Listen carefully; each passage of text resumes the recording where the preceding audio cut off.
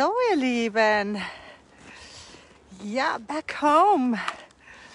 Ich wollte eigentlich euch in die Augen schauen, aber es ist voll hell.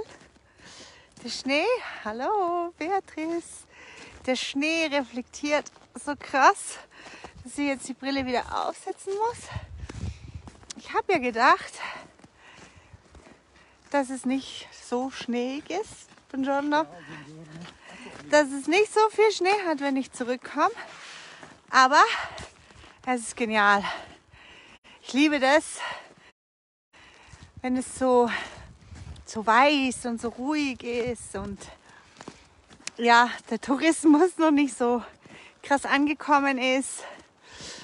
Und äh, ja, in diese weiße, in diese weiße Landschaft ist es doch so geil, seine, seine Wirklichkeit rein zu kreieren, wie auf eine weiße Leinwand, wo alles unbefleckt ist. Übrigens, wer von euch das noch nicht weiß, die Maria, die unbefleckte Empfängnis, das bedeutet nur so viel wie bedingungslose Empfängnis. Ich muss nicht umzu, ich muss nicht umzu und ich muss auch keinen Sex gehabt haben, um ein Jesuskind zu gebären. Also ich muss überhaupt nicht umzu irgendwas gehabt haben. Ich kann total unbefleckt. Also einfach, weil ich es halt so entscheide, weil ich es so haben will, kann ich ein geiles Leben empfangen. Kann ich Freude empfangen? Kann ich äh, Glückseligkeit empfangen? Kann ich all das empfangen, was ich halt haben möchte. Und das heißt unbefleckte Empfängnis. Die Bibel ist ja äh, eine, ja, Parabel ist auch nicht richtig. Es ist eigentlich eine, eine Fallstudie sozusagen. Eine Fallstudie mit Worten und Erklärungen, die wir heutzutage nicht so benutzen würden. Aber es steht alles drin. Es ist es ist alles da. Es ist, es ist absolut klar. Und immer wieder zwischen dem Mensch-Mensch entschieden und dem Gott-Mensch, dem göttlichen Mensch und Jesus Christus als Sinnbild, wie es ist, hier auf Erden als Gott-Mensch zu laufen, in deinem Gottbewusstsein, mit deinem God-Mind, mit deinem göttlichen Verstand, deiner göttlichen Psyche, und aus dieser Psyche, ja, Psyche ist, habe ich mit einer diskutiert, heißt auf Griechisch eben Seele. Und mit der Seele ist eben diese göttliche Psyche gemeint und nicht unsere Psyche, die psychotische, psychopathische, ähm, trainiert durch Angst und Mangel trainierte Psyche ist damit nicht gemeint, sondern damit ist tatsächlich die freie, unendliche, göttliche Vorstellungskraft gemeint. Die Vorstellungskraft außer all dem, außerhalb von all dem, was wir glauben, außer all dem, was unsere Gesellschaft glaubt, außerhalb all der Regeln und eben Bedingungen. Es gibt keine Bedingungen. Es gibt keine Voraussetzung, die man erfüllen muss, um etwas erreichen zu können. Die einzige Sache, die halt zu meistern ist, ist der Seinszustand. Der Seinszustand. Dieser bedingungslose Seinszustand. Und dass es eben nicht darauf ankommt, auf das Außen, dass es nicht darauf ankommt, was das Außen dir reflektiert, dass das nichts bedeutet, ob du die Dinge haben kannst oder leben kannst, erleben kannst, die du möchtest. Das bedeutet es nicht. Das Außen bedeutet nur das, was du es bedeuten lässt.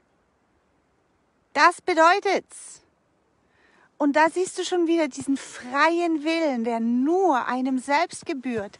Freier Wille ist mein Wille. Und es gibt nichts anderes als mein Willen. Es gibt nicht deinen Willen. dein Wille ist immer noch mein Wille in meiner Welt.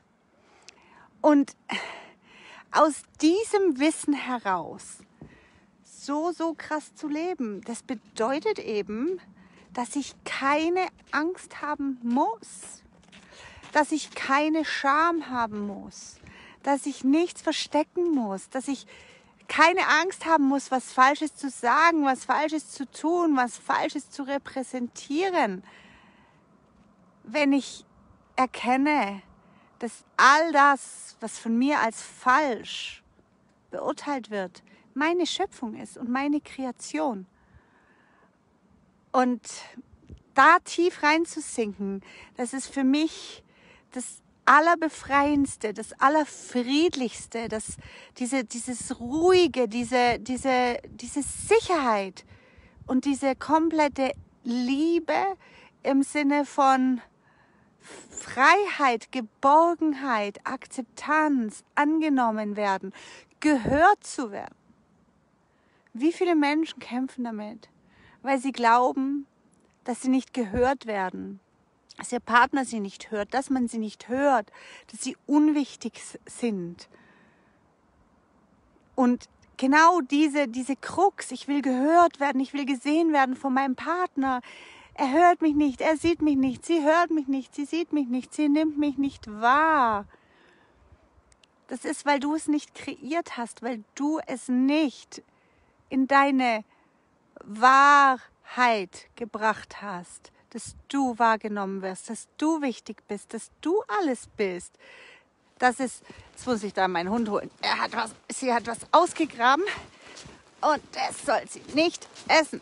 Seja, Eieiei, die ist ganz tief hier runter zu den Kühen, zu dem Kuhmist.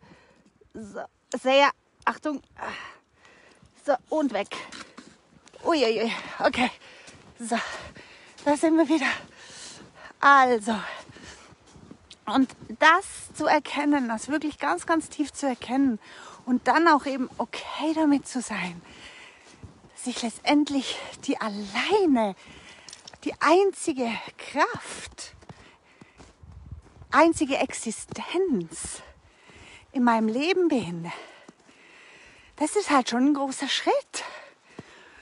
Wobei ich mich immer da so lange danach gesehen habe, dass jemand an meiner Seite ist, dass Freunde, hui, Applaus da ist. Aber das kommt eben nur, wenn du es dir kreierst, im Inneren, wenn du das haben möchtest, weil es schön ist, weil es freudig ist, weil es eine Abwechslung ist, weil es eine Erfahrung ist, aber nicht, weil es etwas bedeutet. Nicht, weil es bedeutet, dass du plötzlich gut genug bist. Nicht, weil es bedeutet, dass du plötzlich liebenswert bist. Darum, deswegen sich nach Dingen zu sehnen, die das endlich bezeugen, dass du endlich das bist, was du so gern wärst, wird dich niemals das werden lassen, was du möchtest. Wird dich niemals das sein lassen, was du dir so ersehnst.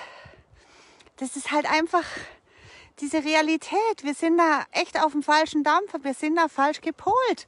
Wir suchen, wir suchen an der falschen Stelle. Wir suchen auf die falsche Art. Wir suchen wir suchen und suchen und suchen und werden niemals finden, weil es nichts zu suchen gibt.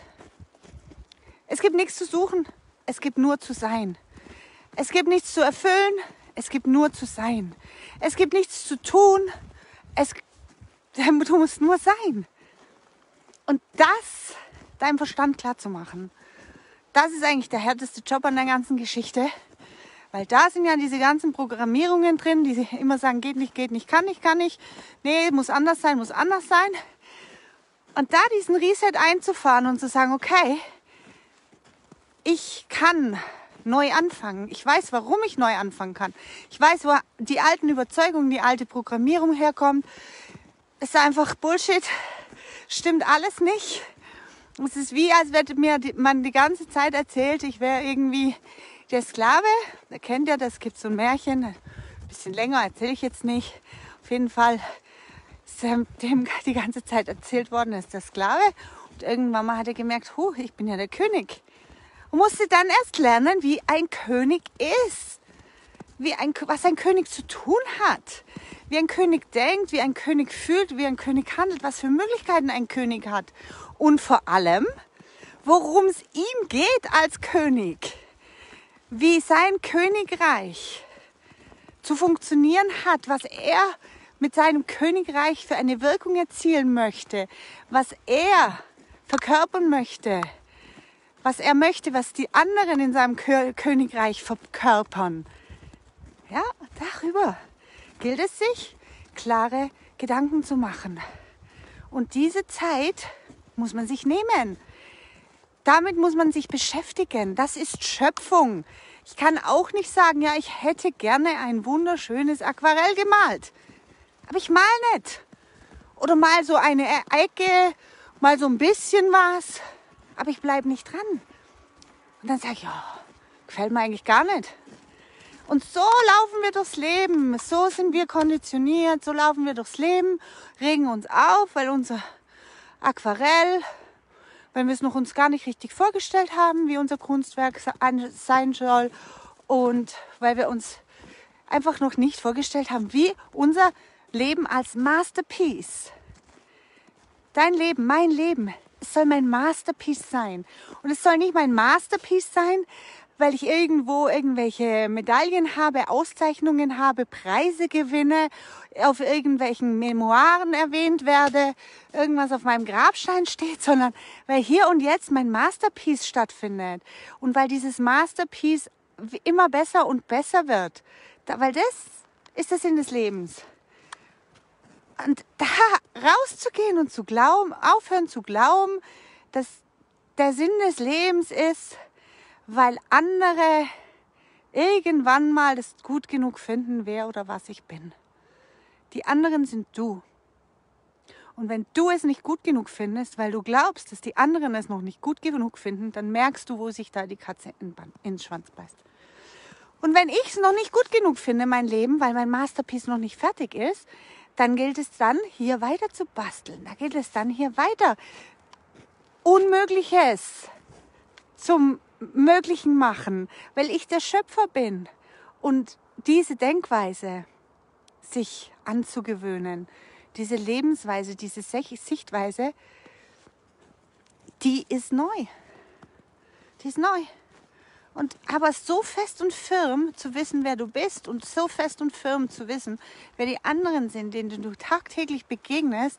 Ich gestern auf der Reise und aber auch dann zu wissen, was mache ich mit meinen Begegnungen? Was will ich mit meinen Begegnungen machen? Ich wähle. Da gibt es Begegnungen, da passiert nichts. Und dann gibt es wieder Begegnungen, da passiert Großartiges. Aber es liegt trotzdem noch an mir. Wenn ich den Anspruch habe, ja, jede Begegnung muss großartig sein, mache ich wieder einen Stress. Aber wenn ich sage, ich kann in aller Ruhe mein Leben zu einem Masterpiece machen. Ich kann meine Objekte und Subjekte in aller Ruhe auswählen und gestalten. Das ist Masterpiece Creation. Das ist Masterpiece Creation. Und das ist mein Luxus. Das ist Milux. Das ist mein Jahresprogramm.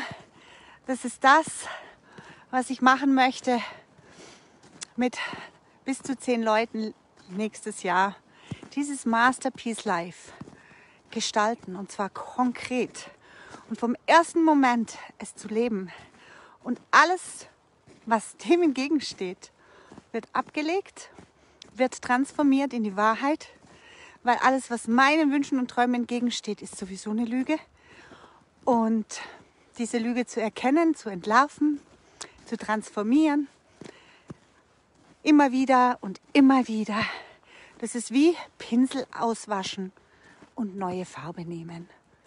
Immer wieder Pinsel auswaschen, neue Farbe nehmen. Nicht heulen, nicht schimpfen, nicht jammern, nicht leiden. Pinsel auswaschen, neue Farbe nehmen. So, ja, ich hoffe, ich habe euch damit ein bisschen inspiriert, vielleicht auch ein bisschen Lust gemacht auf Milux Jahresprogramm. Da ist übrigens auch die tolle Cruise dabei im März. Da kommt die Ausschreibung demnächst. Noch in dieser Woche.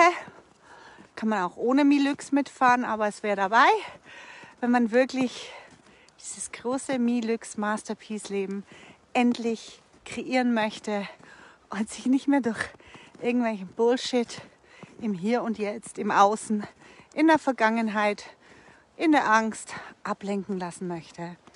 So geht's, so funktioniert's. Es gibt keinen anderen Weg. Das ist der Weg des Schöpfers, der Schöpferin, die wir nun mal sind. Ob wir es leben oder nicht. Wir sind's halt. Also, tschüssi.